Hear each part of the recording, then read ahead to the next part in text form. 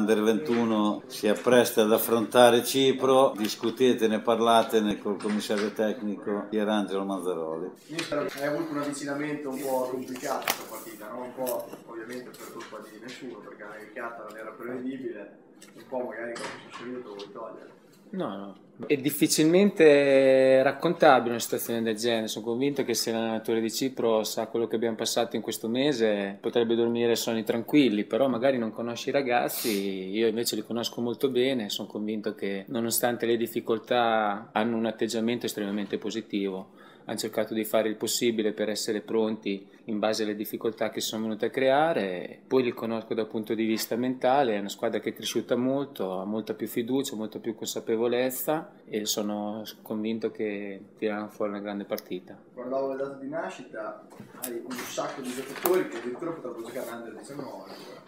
Eh, viviamo una realtà che eh, siamo sempre in sofferenza perché è un biennio che racchiude dei ragazzi che hanno parecchi problemi, molti fanno l'università chi si avventura nel mondo del lavoro, quindi sono giocatori che fanno fatica a fare determinate scelte a meno che non fanno attività professionistiche, quindi dobbiamo assolutamente e continuamente attingere annate antecedenti a quelle che sono dovute. Poi manca anche Golinucci Alessandro che ha avuto la febbre all'ultimo momento, se no era tra i convocati, quello che gioca a San Mauresio con Bernardi. Manca qualche 93, però fa piacere sotto un altro punto di vista perché sono ragazzi che vanno a giocare fuori, si stanno mettendo in discussione, fanno dei sacrifici e sono convocati meritatamente. È chiaro che avere giocatori con una certa esperienza, con una certa mentalità è sempre un vantaggio però ecco, magari questa loro giovane età possa trasformarsi in esuberanza in campo e darci magari maggior vitalità all'interno della stessa partita.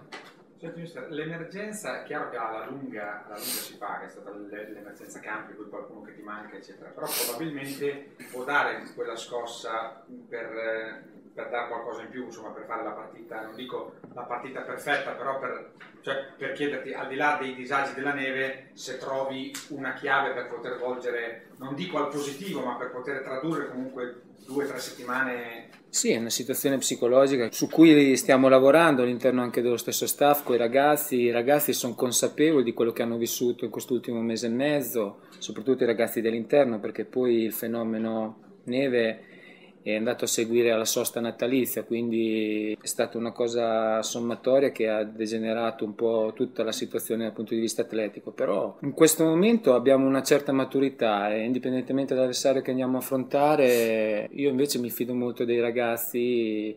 Toccare in questo momento certi tasti ormai non ha più ragione di essere, secondo me vanno toccati altri tasti che sono quelli della crescita, della, dell'organizzazione e ultimamente partite come in Grecia contro la Bielorussia o anche lo stesso secondo tempo con la Germania dopo aver subito quel primo tempo un po' scioccante 5-0 hanno dimostrato che i ragazzi stanno iniziando ad avere la pelle dura per certi tipi di partite.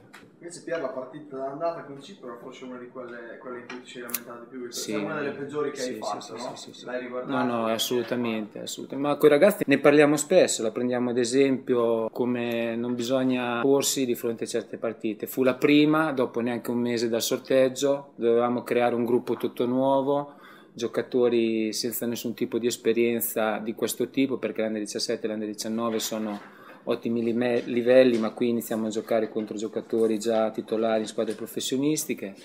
Avevamo anche quella volta dei problemi di formazione, inventammo tante cose che non portarono a nulla. I grandissimi gol derivarono anche dal caso, da, da infortuni, da, da timori troppo reverenziali anche nei confronti della squadra andò tutto storto anche nel viaggio perché fu un viaggio incredibile che vabbè però non deve essere un alibi. Eh, però ecco da, da, le sconfitte cioè la nazionale di San Marino se non, non, usa le sconfitte per essere più intelligente vuol dire che è presuntuosa. Noi i presuntuosi non le facciamo no, non li vogliamo essere e dalle sconfitte dobbiamo trarre sempre gli aspetti più importanti positivi per poter crescere. Prova a mettere insieme una formazione? Ma 6 undicesimi sono sicuri, su 5 veramente aspetto allenamento di stasera.